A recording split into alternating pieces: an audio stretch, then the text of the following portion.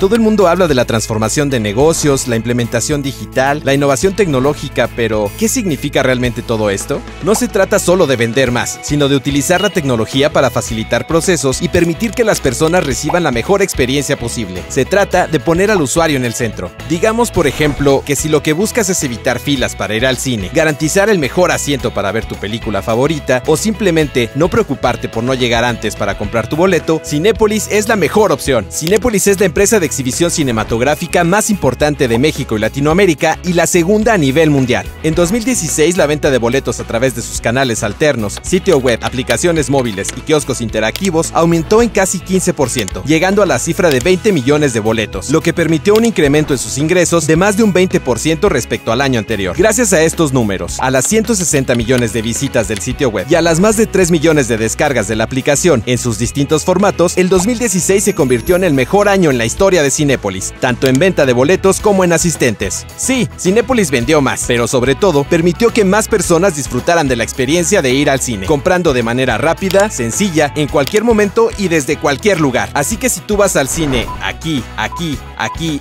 o aquí, puedes comprar tus boletos desde aquí, aquí, aquí o aquí. Cinépolis es un ejemplo de lo que la transformación digital significa, mejorando la experiencia de los usuarios y evolucionando la industria de exhibición cinematográfica.